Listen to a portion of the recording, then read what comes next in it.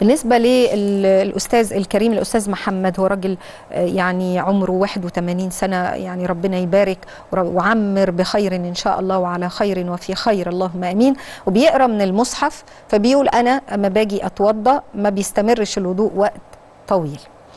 آه، آه، أخي الفاضل والممنوع عند جمهور الفقهاء هو أن مس المصحف من غير طهارة. ده الممنوع المس مش القراءة. فلو حضرتك يعني تقرأ وتقلل مسألة اللمس قدر الطاقة يعني ده بالنسبة لك يعني ممكن يكون أمر يسير.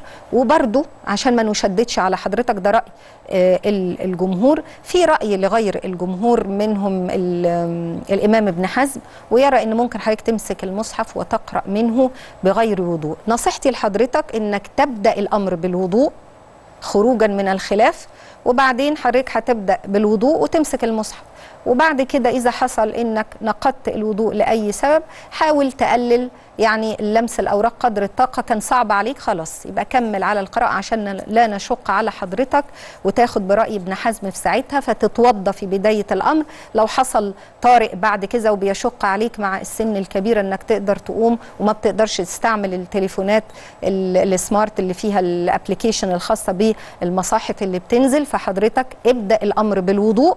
وامسك المصحف خلاص حصل شيء كمل زي ما انت آه، ابتديت. حتى لو حصل شيء ونسأل الله سبحانه وتعالى القبول وناخد برأي الإمام ابن حزم في هذه المسألة ومن تبعه فيها. ونسأل الله سبحانه وتعالى القبول.